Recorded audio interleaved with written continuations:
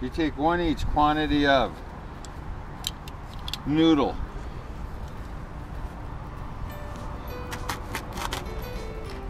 You cut with knife. You put rest between legs.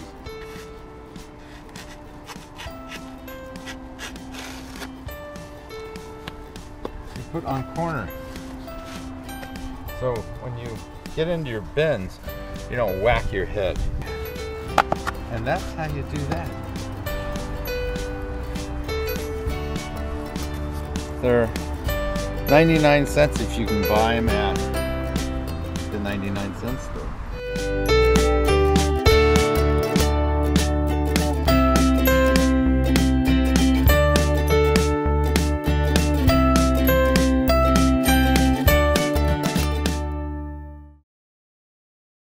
Sam, I'm Marjie. We're from Truckee, California.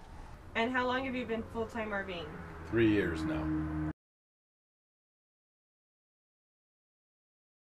We couldn't own a home and RV, so we had to decide one or the other. Sold our house, and in desperation, looked for an RV. Never have done this before. Winging a prayer. He's never had. He had a truck, but we're not into the big fancy trucks. And by the time you do it, it's a hundred thousand either way. By the time you buy the RV and the car, it's a hundred and thirty thousand, and by the time you buy the big truck and the new fifth wheel, it's a hundred and thirty thousand. It's so it's six. It's what you want. What, what did you do your first year full timing? Traveled.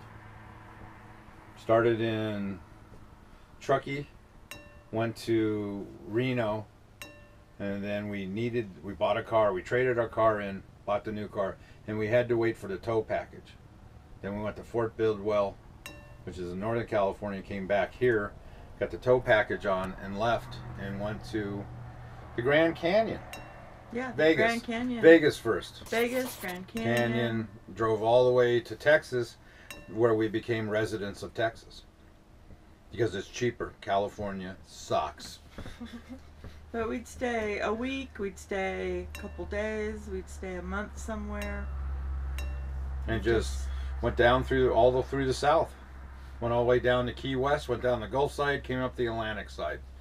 Went Savannah, Georgia. You haven't been, go. Cool town. And how did you even hear about work camping? Did you already know about that or? No. We saw people in the state parks that were cleaning bathrooms, and then we were asking them about it because they were older. And they said they told us, yeah, we work camp. We get to stay here for free, and we just work a few hours. You get to park people and meet people from all over the United States and all over the world, and it's fun. And cones. Cones, are nice. Cones are nice if you wear hats and you have your head down. So when you walk around your RV, you remember that you have a pop out so you don't whack yourself in the middle of the face when you walk into the side. I mean, it's if you're outgoing, this is this is a lifestyle that is fun. Yeah. There's a lot to do and a lot to see. There are people that travel together. There's a lot of people that caravan together or they meet certain time every year for two months and then they split and go their ways, but they hang out every year. Yeah.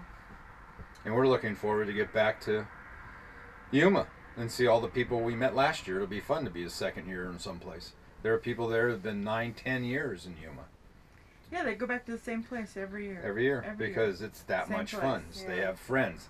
And they don't see each other for six months and they all come back and they all have fun. Yeah. They all have new stories. What is the best part about full timing? I'm sure there's a lot of good parts. What are the best parts? the travel, the freedom. People you can want see tip it. number three? What is tip number three? Buy a 10 foot piece of gutter, cut it in half. Now you can adjust it to any length for your sewer and you won't get the wiggle waggle when it goes everywhere. Keeps it nice and straight. Couple wire ties, keep it in place. You cut them when you're done, throw them away. And you keep the gutter. It's perfect. It slides out and in. Put it on top of your cradle. Advice for others seeking the lifestyle. What advice would you give? Do it. It's a fool's paradise at times, but do it. It is fun.